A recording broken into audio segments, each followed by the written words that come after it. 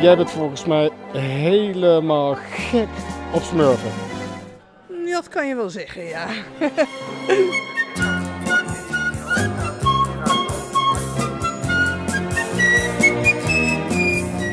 Een Anne Frank smurfje. Je ziet de kleur van het boek. En zo heb ik ook een K3 setje gemaakt. Die liggen hier zo. Kijk, daar heb je de meiden van K3. En ik ben ook nog met de Harry Potter smurf bezig. Even kijken, kijk, dat moet deze worden. Ik weet niet of je een beetje in beeld hebt. Alleen ik moet nog even verzinnen hoe ik dat brilletje ga maken. Daar ben ik nog niet over uit. Ik haat smurfen! Ik krijg jullie nog wel! Ik krijg jullie allemaal! Al is het het allerlaatste wat ik doe! Ik krijg jullie nog wel! Liefde? Ja, eh, anders kan je het toch ook niet noemen? Eh, ze raken je hart. Het zijn gewoon lieve wezentjes.